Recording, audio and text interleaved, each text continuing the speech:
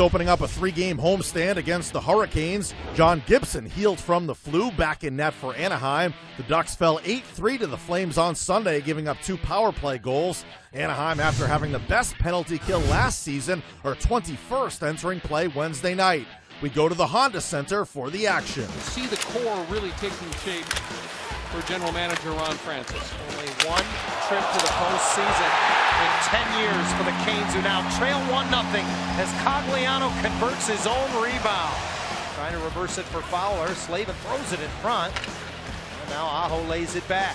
Justin Faulk plays it across off the skate of Slavin to Teravainen, who scores.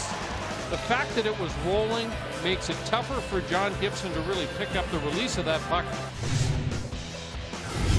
good stop from John Gibson. Got the benefit of a post. And it took a real alert defensive play from Cam Patton.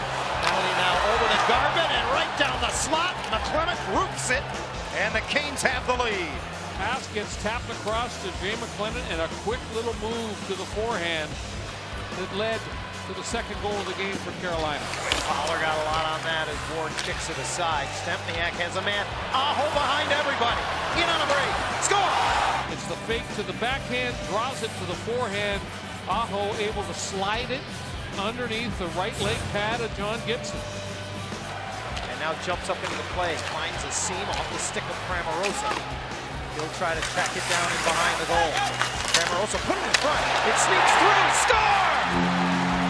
Stefan Noesen with his first NHL goal.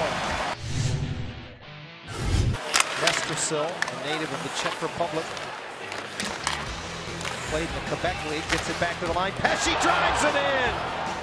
And Gibson just a hair late reacting to the shot. That was a good low shot through traffic just inside the post. Boy, they're doing a good job listening to their bench. All you can hear is get it deep. Here's Silfverberg in and a big save. Ward rebound. Score! Cogliano has his second of the night.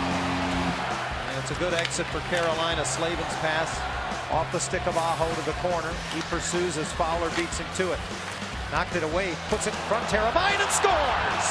And the forecheck creates an opportunity, and Teravainen throws it towards the net. It may have gone off the foot of Nick Ritchie, and it beats John Gibson low.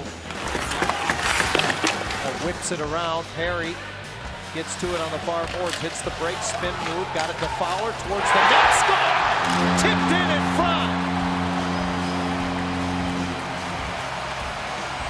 Nick Ritchie, it's 5-4.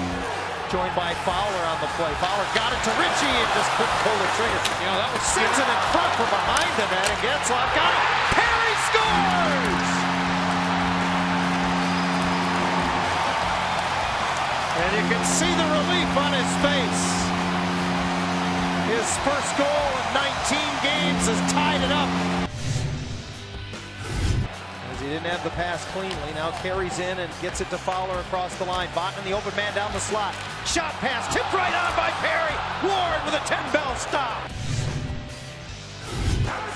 Who has converted his only shootout attempt all season.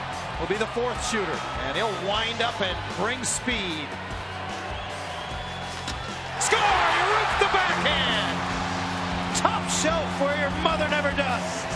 Gibson stops Skinner, and the Ducks will win this game. It's up to Skinner, and he'll weave his way in on Gibson.